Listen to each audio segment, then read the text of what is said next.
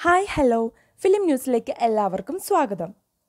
Marvel phase ഫോറിലെ last ചിത്രമായ Black Panther Wakanda forever box ഓഫീസിൽ വൻ കുതിപ്പാണ് നടത്തുന്നത്. ഈ മൂവി ഇന്ത്യയിൽ നിന്ന് മാത്രം അമ്പത് കോടി കളക്ഷൻ നേടി.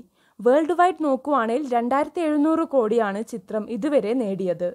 കാർത്തിയുടെ Japan first look poster. Dream Warrior Pictures അവതരിപ്പിക്കുന്ന കാർത്തിയുടെ ഇരുപത്തഞ്ചാമത്തെ മൂവിയാണ് ജപ്പാൻ. ഈ ചിത്രത്തിന്റെ ഫസ്റ്റ് ലുക്ക് പോസ്റ്റർ പുറത്തിറങ്ങി. ദേശീയ അവാർഡ് ജേതാവ് രാജു മുരുകനാണ് ഈ മൂവി ഡയറക്റ്റ് ചെയ്യുന്നത്. V K Prakash Suresh Babu team ഒന്നിക്കുന്ന ലൈവ് മൂവിയുടെ ടൈറ്റിൽ പോസ്റ്റർ പുറത്തിറങ്ങി. സാമൂഹ്യ പ്രസക്തിയുള്ള ത്രില്ലർ മൂവി ആയിരിക്കും ഇത്. ഈ ചിത്രത്തിൽ മംത മോഹൻദാസ് സൗബിൻ ഷൈൻ ടോം ചാക്കോ പ്രിയ വാര്യർ എന്നിവർ പ്രധാന വേഷത്തിലെത്തുന്നു. സർദാർ നവംബർ പതിനെട്ടിന് O T release. Director P S മിത്രന്റെ superhit spy thriller മൂവിയാണ് സർദാർ. കാർത്തിയാണ് ലീഡ് റോൾ ചെയ്തിരിക്കുന്നത്. ഈ മൂവി നവംബർ പതിനെട്ടിന് ഒ ടി ടി റിലീസ് ഉണ്ടാവും. വെബ് സീരീസ് വരുന്നു. ജൂൺ മധുരം എന്നീ സിനിമകൾക്ക് ശേഷം അഹമ്മദ് കബീർ ഡയറക്ട് ചെയ്യുന്ന വെബ് സീരീസിന്റെ ഷൂട്ടിംഗ് ആരംഭിച്ചു. ഗോൾഡ് ഡിസംബറിൽ. പൃഥ്വിരാജ് അൽഫോൺസ് പുത്രൻ ചിത്രമായ ഗോൾഡ് ഡിസംബർ റിലീസായി എത്തുമെന്ന് സൂചന. ലേഡി സൂപ്പർ സ്റ്റാർ നയൻതാരയാണ് മൂവിയിൽ നായിക.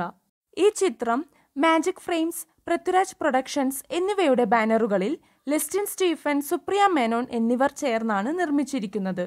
C I D Moosa Runway മൂവീസിന്റെ രണ്ടാം ഭാഗം. സൂപ്പർ ഹിറ്റ് മൂവീസ് ആയിരുന്ന C I D Moosa Runway എന്നിവയുടെ രണ്ടാം ഭാഗങ്ങൾ തീർച്ചയായും ഉണ്ടാകുമെന്നും അതിന്റെ ജോലികൾ നടക്കുകയാണെന്നും ദിലീപ്. ജോണി ആന്റണി ഡയറക്ട് ചെയ്ത സി ഐ ഡി മൂസയും ജോഷി സംവിധാനം ചെയ്ത റൺവേയും രചിച്ചത് സിബി കെ തോമസ് ഉദയകൃഷ്ണൻ ടീമാണ്.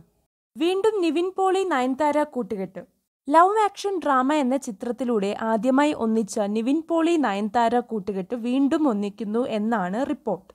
നവാഗതരായ സന്ദീപ് കുമാർ ജോർജ് ഫിലിപ്പ് റോയ് ഒരുക്കാൻ പോകുന്ന ഡിയർ സ്റ്റുഡൻസ് എന്ന മൂവിയിലൂടെയാണ് ഇരുവരും വീണ്ടും ഒന്നിക്കുക എന്നാണ് സൂചന.